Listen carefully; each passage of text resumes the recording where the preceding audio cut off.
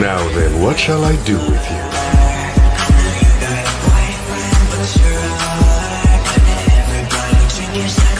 On the